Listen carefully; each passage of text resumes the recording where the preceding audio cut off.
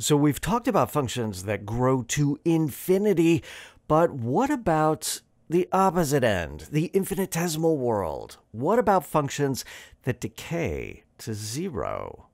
Let's recall what happens when we're going to infinity, right? Recall the polynomial hierarchy. There's this strict domination based on the powers in the monomial terms. So x is less than x squared, is less than x cubed, is less than x to the fourth. There's that hierarchy of polynomial growth. Okay, okay, now what happens when you take reciprocals? This ordering, this hierarchy is reversed when you take the reciprocals of these terms. So, what I mean by that is 1 over x is bigger than 1 over x squared is bigger than 1 over x cubed, etc., etc. Again, this is all in the limit as x is going to infinity. What happens if instead of taking that limit, we reverse, we go to zero? So instead of x getting larger and larger and larger, x is getting smaller and smaller and smaller. Well, everything flips. All the inequalities are reversed in the limit as x goes to zero, x dominates x squared, which dominates x cubed, which dominates higher and higher powers, just like we've seen when we're doing Taylor expansions. On the other hand, the reciprocals are blowing up to infinity, and there is a reverse domination there. 1 over x is less than 1 over x squared, etc.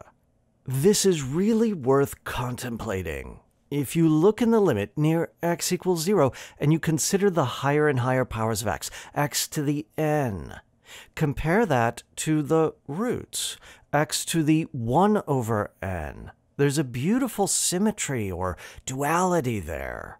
But this continues. If you look at what happens in the limit as x goes to infinity, this symmetry persists and is really beautiful and exists also when you're looking at negative powers, so x to the minus n, or x to the minus 1 over n. Together, this entire system is really beautiful, really worth getting in your head now as we think more about asymptotics.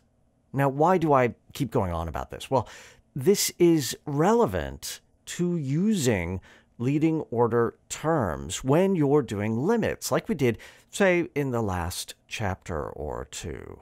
Consider, for example, the limit as x goes to 0 of the following rational function. Up top, we have the polynomial x cubed minus 7x squared plus 5x plus 3. In the denominator, we have the polynomial 4x cubed minus x squared minus 3x plus 2. If we're taking the limit as x goes to 0, then what I'm tempted to do in this case is rearrange those terms from lowest order to highest order. Just reverse the polynomials. That doesn't change anything, of course, but it makes it look a little bit more like what we see when we're doing Taylor expansions. And I can easily see that all the higher order terms are going to zero, albeit at different rates. In the end, what matters is the leading order terms three up top, two below, leading to a final answer of three halves. Now, if instead of going to zero, we take the limit as x goes to infinity of the same rational function, then it's a totally different story because of the way that these powers work. Now, the leading order terms are the cubic terms. And if we factor out an x cubed from the numerator, from the denominator, then what is left over is up top something in the form 1 minus 7 over x plus 5 over x squared plus 3 over x cubed. And then down below, 4 minus 1 over x minus 3 over x squared plus 2 over x cubed. All of those higher order terms are going to zero more and more rapidly as x goes to infinity. And so, in the end, this limit evaluates to the ratio of the leading order terms. In this case, x cubed divided by 4x cubed, leading to a final answer of 1 fourth. It's this pattern that we see. X is going to zero on one side, X is going to infinity on the other side, totally changes what is meant by a leading order term.